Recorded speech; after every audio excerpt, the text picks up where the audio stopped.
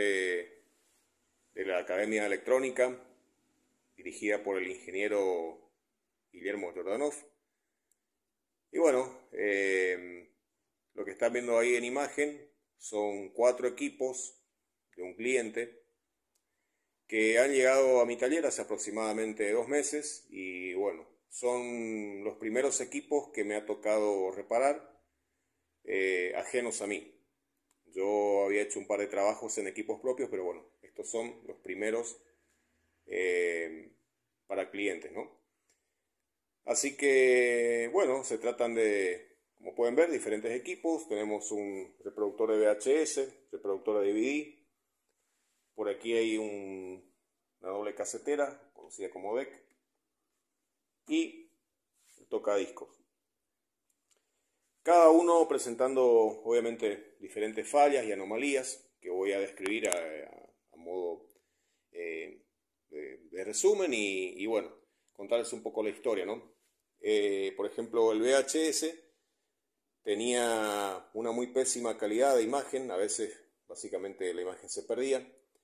Entonces, bueno, tenía el cabezal muy dañado, a pesar de la limpieza, eh, la imagen no mejoraba, así que hubo que hacer un cambio de cabezal. También el flex que conecta la señal que procesa el cabezal y la envía a la tarjeta que procesa la imagen, eh, ese flex en la conexión con la tarjeta tenía un falso contacto, desgaste propio del paso del tiempo, así que también se trabajó ahí, eh, fabricando una especie de, de seguro, ¿no es cierto?, que hace que, bueno, el contacto sea correcto y firme entre el flex y dicha tarjeta y bueno, obviamente la imagen está presente. Eh, obviamente tuvo limpieza de, todo el mecanismo, de accionamiento, limpieza interior, exterior también. Y bueno, eh, se ha trabajado a uno cambio de capacitores, conocido como recap, capacitores electrolíticos, sobre todo de la tapa de la fuente, eh, más que nada por el, por el mismo paso del tiempo. Y bueno, se lo devolvió a la vida. Este, puede seguir prestando servicio mucho tiempo más. Así que bueno, tuvo una restauración básicamente dejándolo prácticamente a nuevo. ¿no? Eh, el reproductor de DVD eh, tenía el mecanismo de accionamiento de la bandeja estaba trabado, muy sucio, también por acumulamiento de mure, el paso del tiempo, e inclusive mm, el mecanismo que hace que el láser se desplace, ¿no es cierto?, leyendo el CD, estaba también muy, muy atorado. Entonces, obviamente, eh, la lectura no era eficiente y, eh, obviamente, eh, arrojaba fallas y, bueno, era imposible escuchar música o alguna película porque, directamente eh, nos marcaba el mensaje de error ¿no? en el display. Tenía también una serie de falsos contactos en la botonera de, accionamiento de las funciones, que también se, limpió, se lubricó. Limpieza interior, exterior, y bueno, salió funcionando.